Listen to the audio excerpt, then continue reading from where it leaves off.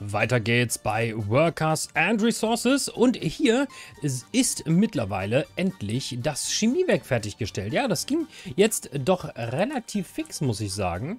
Und ein Geschäft hat keine Waren. Na, das fängt ja genau richtig an. Ich hoffe, ihr hattet eine schöne Woche. Gestern gab es ein bisschen, in, beziehungsweise in der letzten Woche ein... Okay, das ist das Thema Fleisch gab es ein bisschen weniger Content. Und wenn wir gerade schon hier sind, dann können wir gleich einmal gucken. Ihr seht, ähm, das Haus ist soweit okay. Ja. Die Häuser sind okay. Es gibt tatsächlich auch erstaunlich wenig Leute hier ohne Job. Kohleproduktion läuft auch soweit, hoffe ich. Ja, dies wird auch alles das wird auch alles direkt rausgesaugt hier mit unseren Transportern. Also das ist kein Problem. So, wir müssen einmal auf langsam gehen, denn wir müssen hier vorne bitte einmal, danke, unsere äh, Leute hinbringen. So, wir haben hier schon eine ganze Menge Leute hinbekommen. Die kommen leider nur bis da vorne. Das Haus kommt tatsächlich bis rein. Das sind aber auch schon 346 Meter. Ähm, ich würde also vermuten, dass dieses Haus, ja, ihr seht, das ist angeschlossen, aber das kommt da leider nicht mehr mit rein. Das heißt, wir brauchen definitiv eine Route hinten ins Chemiewerk, um dort weitere Leute hinzukriegen. Und ihr seht, das machen wir dann von hier. So, da werden wir jetzt eine Route ba basteln und das wird einmal ins Chemiewerk gehen und natürlich auch einmal hier vorne hin. Ja? Also da brauchen wir auch ein paar Leute rein. Gebäude ist ohne Trinkwasser. Gebäude ist echt ohne Trinkwasser. Ja, das ist ja nur fürs Pipi machen. Das ist jetzt nicht so schlimm. So. Ähm, wir, haben, wir müssen auch gucken, ob das mit dem Wasser an sich so klappt. Hier vorne ist ja das Wasser für das ähm, AKW noch im Bau. Das Schwenken war ja dann um. Und da hattet ihr auch äh, geschrieben, das sollte man eventuell auch komplett umbauen. Das müssen wir mal überlegen, ob wir das machen. Aber ansonsten haben wir ja so eine Fremdeinspeisung jetzt hier schon geschaffen, dass wir von zwei Seiten aus das Ganze mit Energie versorgen können. So. Auf jeden Fall müssen wir jetzt erstmal das Chemiewerk in Betrieb nehmen und wir haben hier Pflanzen. Ja, Pflanzen, die kaufen wir im Moment ein. Da gibt es aktuell auch noch nichts wo wir das rein? Wir könnten es hier reinpacken. Ähm, das müssen wir dann aber mal sehen. Kies ist schon hier. Der wird also schon angeliefert. Pflanzen wird gekauft. Öl ist auch schon da. Holz fehlt noch. Wasser fehlt. Ja, und dann war es das eigentlich. Ähm, es gibt übrigens auch noch Abwasser. Da muss ich mal gucken, ob wir das angeschlossen haben. Und ja, wir haben es angeschlossen. Es ist alles dran. Das sieht also auch ganz gut aus. Und dann müssen wir jetzt einmal die Busrouten erstellen von hier aus. Und jetzt können wir mal schauen, ob die hier voll sind. Ja, die sind voll. Dann... Wir könnten nach Möglichkeit vielleicht da noch eins hinstellen. Das wäre... Das wäre vielleicht... Das wäre vielleicht eine Option, dass wir hier in den Snap noch eins stellen. Dahin. Ich weiß aber nicht, ob das dann von der Entfernung her ausreicht. Okay, da müssen wir sogar ohne Snap arbeiten. Nein, okay, ich wollte sagen, eine Option hatten wir hier. Genau. Das bauen wir da nochmal mit hin. Und dann ist es auch tatsächlich mittlerweile so langsam am Ende angekommen. Wir werden das einmal daraus bauen. Gucken wir mal, dass wir dort einmal lang bauen, mittig. Einmal eine Verbindung. Dort bitte.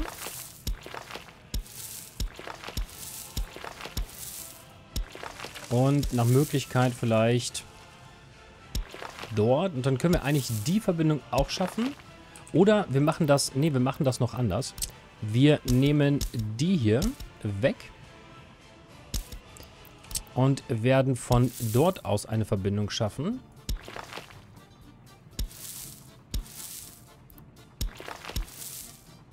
Okay, das hat sich jetzt irgendwie nicht allzu stark geändert im Gegensatz zu vorher. Aber das ist okay. Gut. Dann können sie hier reingehen, hier rüber. Ja, das ist okay. Einmal bauen bitte. Sehr schön. So, dann haben wir hoffentlich noch ein paar mehr Leute, die dort hinten hinkommen. Aber wir können dann auch Wir könnten auch den Weg uns ersparen und eventuell einfach mal gerade durchziehen. So. Und ersparen wir uns noch ein paar Meter, in der Hoffnung, dass die dort auch rankommen. Sondern dann brauchen wir noch Busverbindungen. Jetzt schauen wir mal dort drinnen. Dort haben wir keine. Und hier müssen ungefähr 30 Leute rein. Wir machen, ähm, ich würde sagen, zwei Busse, die ja vielleicht so 20 Leute transportieren können. Und wir müssen einmal schauen, dass wir hier einen vernünftigen Bus finden für das Thema. Sortieren mal nach Kapazität. Na, 50 ist mir schon zu groß. 32, 11, 40. Na komm, wir nehmen die, wir nehmen die 32er. Und dann machen wir eine Route bitte. Und das lassen wir einmal da starten und einmal da rein. Da wird bitte nur beladen und das auch nur zu 60% mehr sollten wir da eigentlich nicht brauchen. So, das ist einmal Bus Pripyat zum Holzfällerposten. Chemie und Holz. Das ist einmal Chemie Holz. So, das geht einmal in Pripyat los. Und es ist eine Busverbindung. So, gut. Und auf diese Busverbindung setzen wir bitte ein zweites Fahrzeug drauf. Und dann hätten wir es eigentlich. Jetzt habe ich die Busroute natürlich gelöscht. So. Linienabstände machen wir automatisch. Und dann können die bitte einmal los. So, nächste Route. Da würde ich sagen, nehmen wir ja, zwei davon. Das sollte ausreichen. Das müssen wir uns mal im Detail ähm, angucken und mal überprüfen, ob das so ist. Hier bitte auch nur beladen und da rein bitte entladen. Und hier vorne soll auch ruhig mit Professoren. Ich weiß halt nicht, was hier alles steht und äh, arbeitet. Da können wir ruhig erstmal alles mitnehmen. Und das nennen wir dann bitte einmal ähm, Huge Chemical Plant. Das ist okay. Das Ganze kommt aus Pripyat. Und ist eine Busverbindung. So.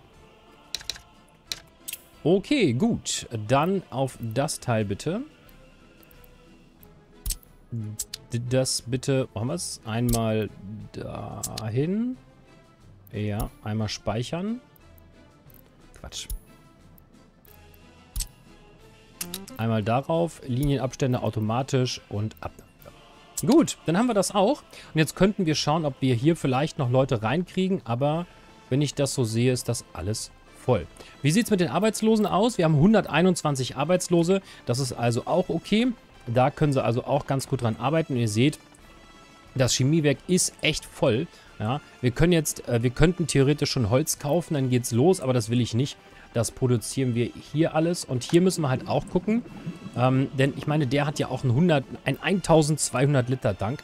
Und wir werden jetzt einmal schauen, dass wir wirklich hier ähm, alles Öl, was da drin ist, dass wir das per Zug, dass wir das per Zug einmal da hinten hinschaffen. Deswegen würde ich gerne den Zug, wenn ich ihn hier irgendwo sehen sollte.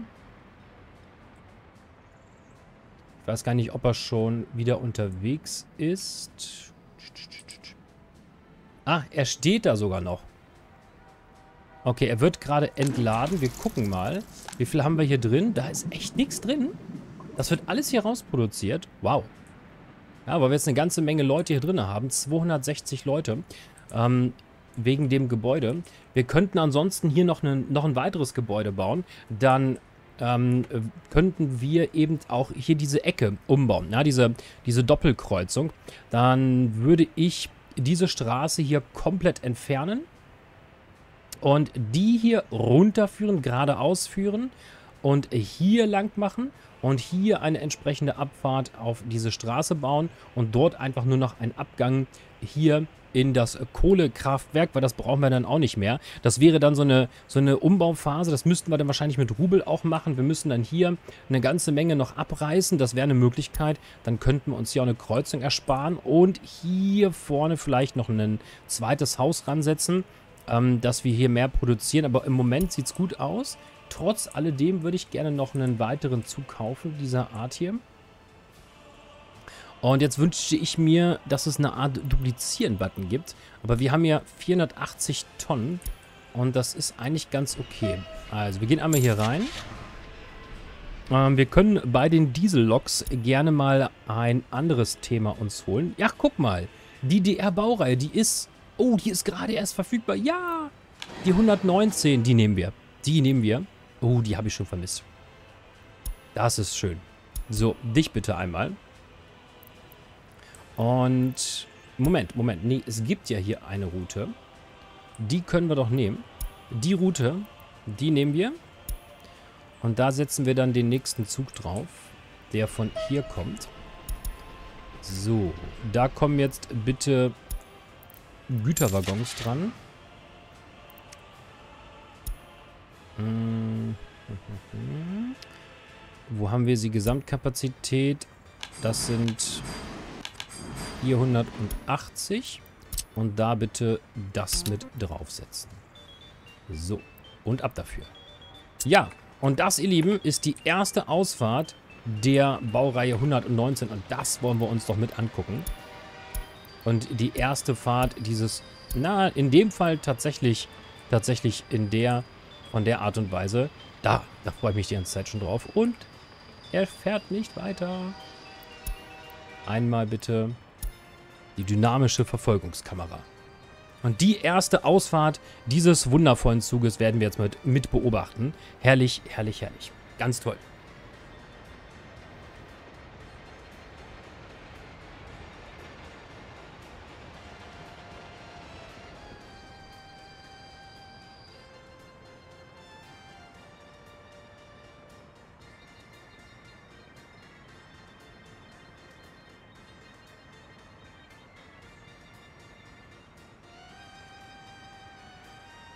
Einmal tanken bitte. Und der Zugführer trinkt in der Zeit einen russischen Kaffee. Prost!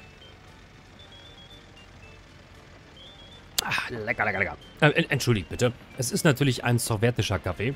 Äh, wir wollen ja auch, wir wollen ja auch ähm, vernünftig, vernünftig bleiben.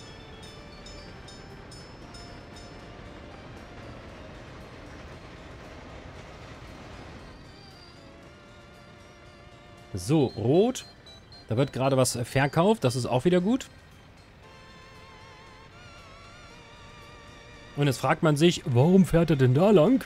Nun, er muss rechts rum, damit wir hier entsprechend ähm, hinten hinkommen. Und ich denke, zwei Züge, die dort das Öl regelmäßig hin und her fahren, ist absolut okay. Das sollten unsere Straßen als Kapazität noch ausgeben. Übrigens, äh, da auch nochmal der Punkt, die Roadmap zur Version 1.0 wurde veröffentlicht.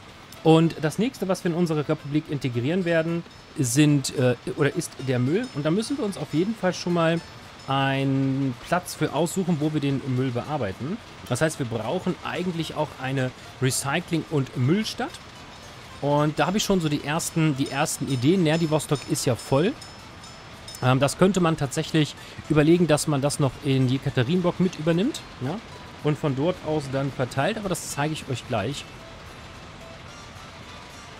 Ja, wir müssen das auf jeden Fall mit einbauen. Die Forschung werden wir hier in diesem Spielstand nicht akzeptieren und nicht aktivieren. Äh, das, weiß ich nicht, macht keinen großen Sinn, glaube ich, bei uns.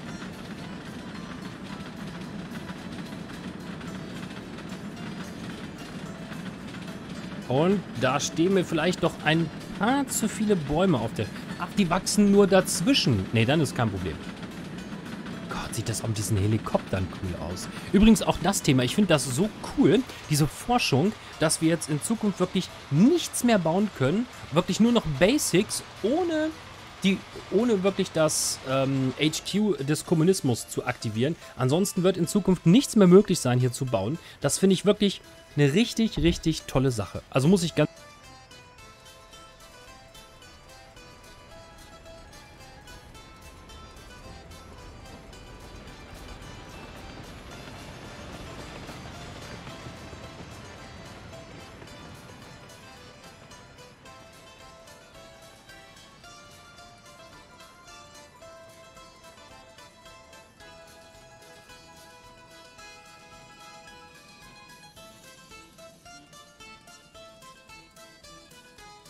So, und jetzt können wir eigentlich mal reinwechseln und die Fahrt nach Jekaterinburg und dann anschließend nach Pripyat einmal genießen.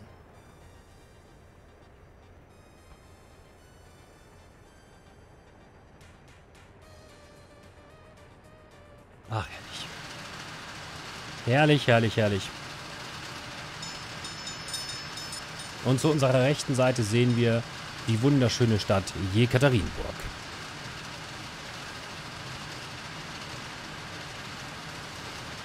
Ja, es regnet schon wieder.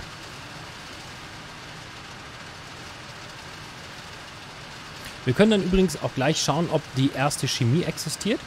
Dann können wir den ähm, die Chemieproduktion und den Zug entsprechend umstellen. Kann ich euch dann mal zeigen.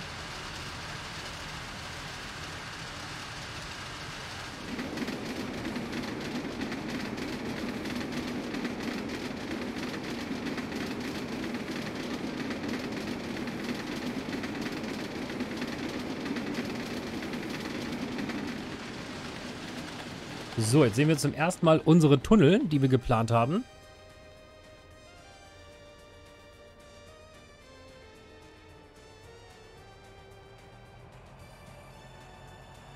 Und das klappt erstaunlich gut, muss ich sagen. Und da steht schon das nächste drin. Oh, jetzt werden wir die Tanks erstmal ordentlich leer saugen. Sehr schön. So, ja, dieses Tutorenthema, das kennen wir. Ähm, da wollen wir noch ein weiteres Waisenhaus bauen. Tutoren, Feuer, Tutoren. Der Zug steht zu lange, das kennen wir auch. Das ist an der Grenze. So.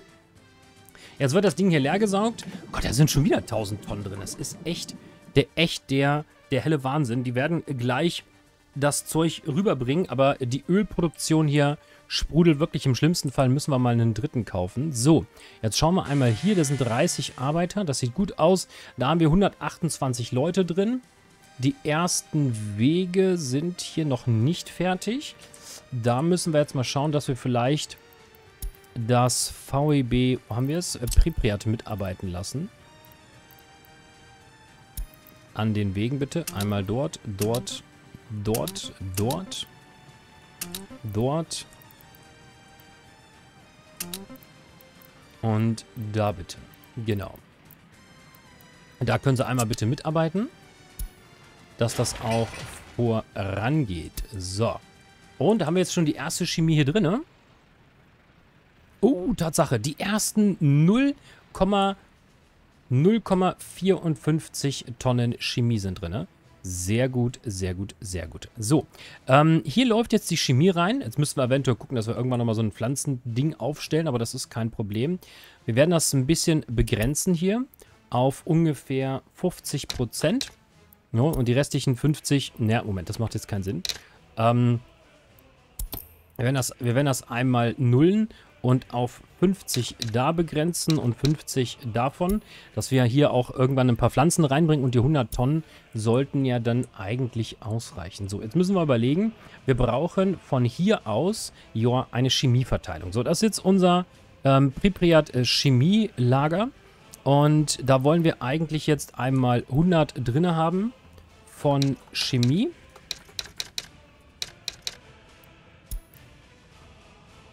So, und das ist das Pripyat Zentrallager Chemie. Das können wir auch entsprechend umbenennen.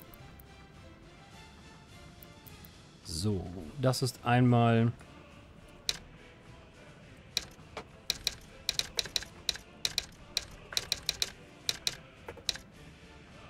Das ist einmal das Pripyat Chemielager.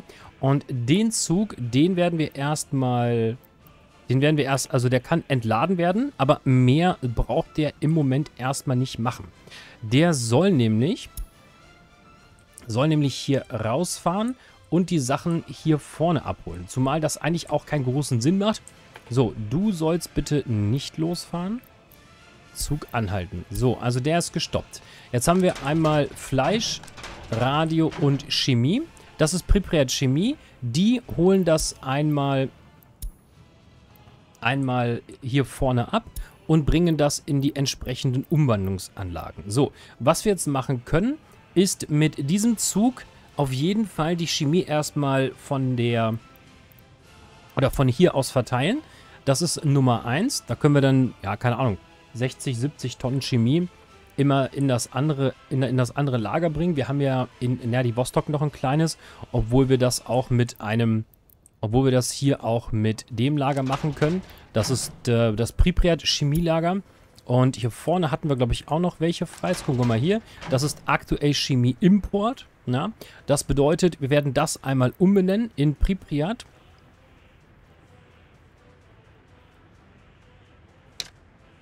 Einmal in VZ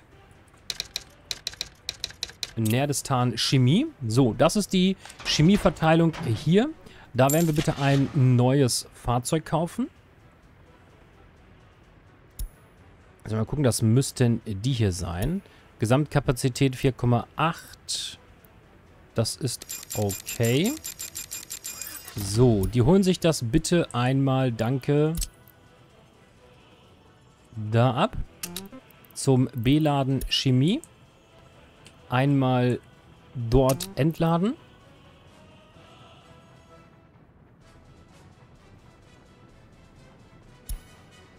Und das äh, auf 30 Prozent. Jetzt haben wir natürlich 100. Jetzt müssten wir hier aber, ja, das 48 Prozent voll. Das heißt, dort müssen wir erstmal nichts reinbringen. Und von hier dann bitte auch einmal in das andere Zentrallager.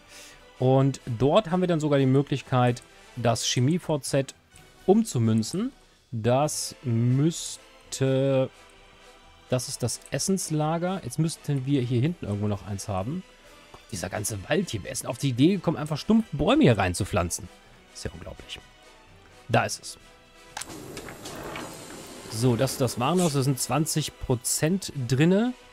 Welches VZ ist hier versorgt? Es gibt hier irgendwo ein Chemie-VZ.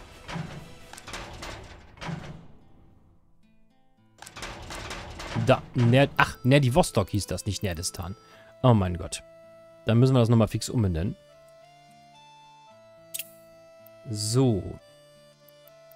Vostok Wasseraufbereitung groß. Nee, Nerdistan ist die Republik. Himmel, Herrgott. Das ist die Verteilung hier intern. Nerdistan Chemie. So, du lädst auf 20%. Genau, das können wir uns ersparen, das können wir uns ersparen. Und das werden wir einmal umbenennen in Nerdistan Fragezeichen. Vielleicht finden wir hier irgendwann was Sinnvolles, was wir machen können. Das sehen wir dann, das ist ja, das ist ja komplett voll. Und hier hinten die Chemie. Du bitte. Na, das ist Stratingrad, da wollte ich nicht hin. Jetzt bin ich total verwirrt. Einmal da bitte. Und das Ganze auf 20%. So, dann sollten wir hoffentlich damit die Chemieproduktion oder den Chemieverbrauch decken können. Und jetzt müssen wir uns noch was überlegen, wie er hier ähm, in das System integriert werden kann und einmal Chemie für Notfälle bereithält. Und ja, das müsste eigentlich ja ein VZ machen. Mit einem VZ würde das am besten passen, aber ich möchte jetzt hier nicht noch ein extra, noch ein extra VZ hinsetzen. Das macht irgendwie keinen großen Sinn. Ähm, da muss ich mir noch was überlegen. Da könnt ihr ja mal Kommentare in die Kommentare schreiben, wie wir das am besten machen. Da weiß ich noch nicht, wie wir das, wie wir das machen. So, jetzt schauen wir erstmal hier, was Produktivität angeht. Wir sind bei 200 Arbeitern. Ähm, Holz ist mehr oder weniger genug. Ja. Kies, wie sieht es damit aus? Sieht auch gut aus.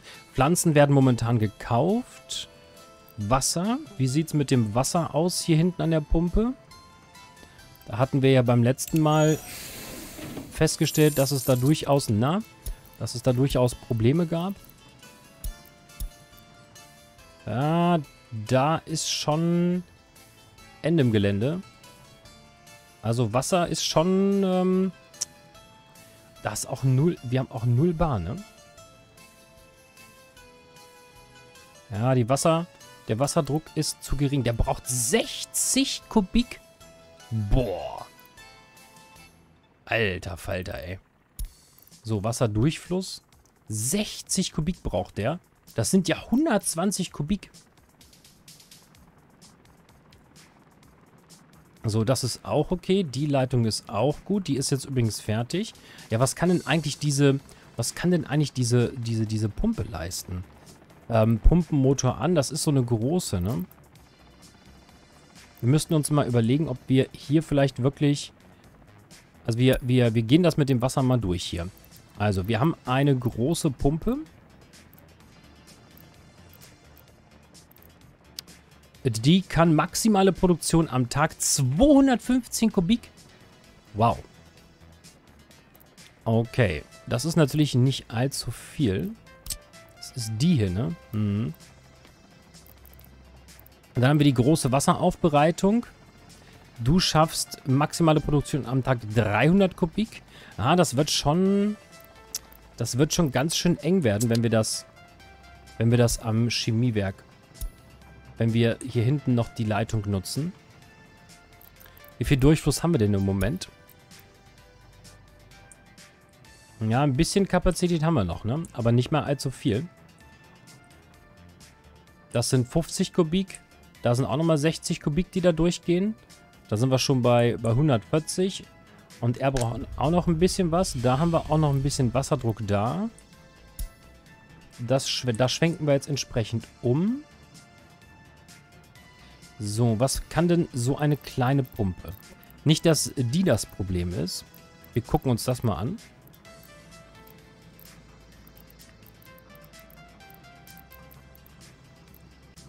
Da steht tatsächlich nichts bei. Okay, die kann, die pumpt einfach nur. Wie viel auch immer. Gut. Wir werden mal gucken, ob das, ob das so weiter funktioniert. Auf jeden Fall haben wir anscheinend auch hier 80 Kubik. Boah. Verbrauch bei maximaler Produktion 85 Kubikmeter Wasser. Wahnsinn. Ja, das ist in der Tat, in der Tat krass, muss ich sagen. Wir produzieren mittlerweile auch echt gut, gut was an Chemie. Ich sehe das schon kommen, dass wir das tatsächlich auch ver verkaufen müssen. Jetzt werden wir mal den Schwenk hier hinten jetzt einmal kurz offline machen.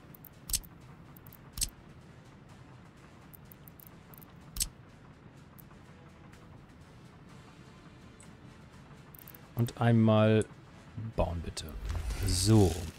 Und hier vorne würde ich tatsächlich gerne eine weitere Wasserversorgung bauen, die wir vielleicht sogar offline betreiben. Also wir sollten, wir sollten wirklich eine Wasserversorgung trennen, denn das ist, glaube ich, echt ein bisschen eng. Wir müssen mal schauen, wo wir noch ähm, gut eine Wasserpumpe hinstellen können. Also wir brauchen auf jeden Fall eine große Pumpe. Der holt 215 Kubik außer, außer Erde. Da haben wir nichts mehr. Da hinten ist auch schon dreckig. Wie sieht es denn hier aus? Da könnten wir vielleicht sogar... Oh, das wäre gut. Wenn wir das hier hinstellen, könnten die Leute hier sogar zu Fuß rübergehen. Und wir könnten von hier aus dann das AKW versorgen. Na, das überlege ich mir nochmal. Ich bin, was die Wasserversorgung eine eigene angeht, noch nicht ganz von überzeugt. Aber zumindestens, zumindestens Chemie, Gott, das sind 250 Leute, wenn die dazukommen. Dann äh, sind wir hier bei voller Produktionskapazität mit 5 Tonnen am Tag. Dann können wir die Chemie, die können wir dann verkaufen anstatt, anstatt einkaufen. Da verdienen wir, da verdienen wir noch mehr Geld mit. Wie sieht es eigentlich jetzt mit der Chemieprodukt, mit der Stahlproduktion aus? Und äh, Kohle. Gehen wir gerade mal in dieses Jahr, was wir dieses Jahr produziert haben.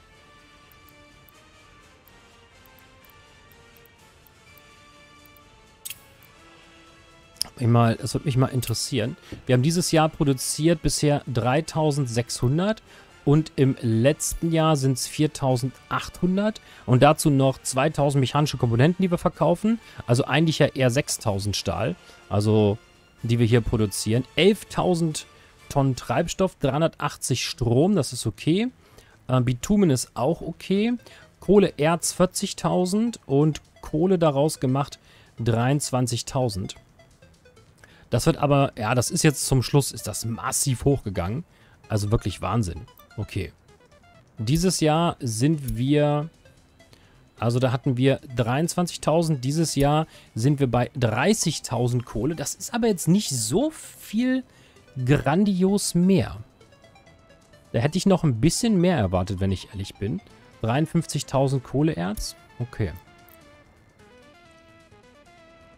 Da müssen wir mal gucken, dass wir vielleicht ähm, sogar noch mehr Kohlequellen hier anschließen. Wie sieht es jetzt aus mit den... Da ist nichts drin, da ist nichts drin. Da sind 1000 Tonnen Kohle. Wow. Und das Ding ist leer, oder was? Ne, da sind auch 900 Tonnen Kohle. Okay, also im Moment würde ich sagen, haben wir erstmal genug Kohle. Wie sieht es hier aus? Wie viele Leute sind da drin? 170, 100. Und es ist ja auch wirklich, es, es ist ja auch keiner arbeitslos in den Gebäuden. Ne? Ich, ich kann nochmal zeigen. Ähm, zwei können wegen Krankheit nicht arbeiten, zwei können nicht arbeiten. 300 kriegen keine Spiritualität, aber die sind alle unterwegs. So, ist mittlerweile der Kindergarten hier fertig. Oh, das Gym ist auch fertig. Äh, das, das, die, die, die Gymnastikhalle meine ich natürlich. So, der Kindergarten ist auch fertig. Zehn Leute, kleiner Kindergarten, 80 Kinder drin. So, da stehen schon wieder 160, die hier auf Arbeit warten. Wann kommt der nächste, wann kommt die nächste Straßenbahn da? Wie lange wartet denn der erste hier? Warten an der Plattform eine Stunde. Oh, das wird aber knapp.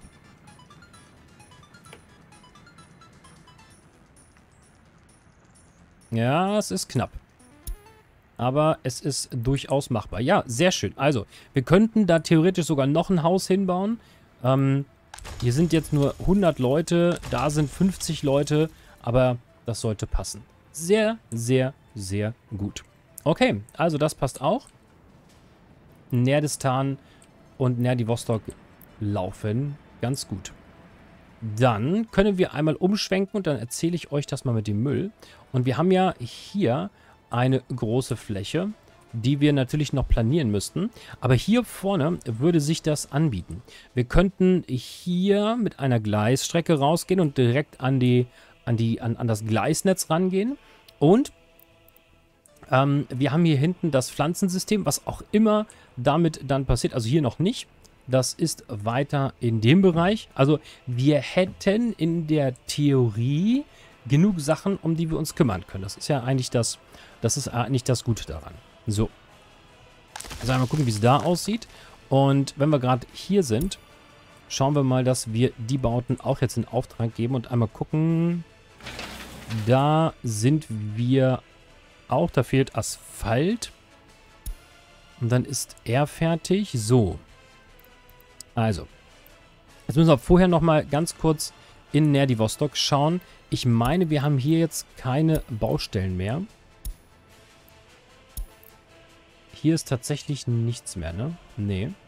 Dann können wir Nerdivostok eigentlich auch hiermit wirklich aktiv dran arbeiten lassen. Das hatten wir beim letzten Mal schon gemacht. Das heißt, Nerdivostok kann sich einmal darum kümmern. Um die Straßenverbindung können wir uns schon kümmern. Ähm, das ist tatsächlich auch alles fertig. Wow. Dann können wir uns darum kümmern. So, da ist nichts. Das müssten wir von... Ja, von hier aus machen. Wir bräuchten hier vorne... Wir können das, wir können auch dort einmal eine kleine Verbindung machen dass wir Vostok da mitarbeiten lassen können. Einmal da lang. Und das Zwirbeln war einfach daran. Ah, irgendwo geht's schon. So, da vorne. Das reicht schon hin. Und dann kann Nerdy Vostok eben auch damit dran arbeiten. So. Einmal in die Richtung und in die Richtung. Jetzt gucken wir mal. Jekaterinburg ist damit zugange. Das sieht gut aus. Einmal kurz schauen. Kohlberg Straßenbau. Jekaterinburg, ob die... Nee, ich glaube, Jekaterinburg macht da lieber nicht mit. Ich denke, Kohlberg, wenn die hier mitarbeiten, ist das okay. So. Die sind an der Brücke, das ist gut. Die sind daran und da dran. Okay. Dann könnt ihr auch damit arbeiten. Das macht ihr auch schon. Ja, sehr gut. Dann sind wir hier, was das angeht, dabei. Sehr schön, sehr schön, sehr schön. Okay, so ein Geschäft hat keine Waren. Das ist das Fleischgeschäft. Da müssen wir uns auch mal drum kümmern. Wahrscheinlich müssen wir da ein kleines ähm, Fleischlager anbauen. Und hier sieht es eigentlich auch ganz gut aus. So, nächster Punkt, was ich noch machen möchte. Das ist, ähm, ach Gott, wir sind ja schon bei 35 Minuten. Meine Güte. Dann würde ich das auf die nächste Folge verschieben und verabschiede mich von euch. Macht's gut, bis zum nächsten Mal. Euer Strategie-Nerd. Ciao, ciao.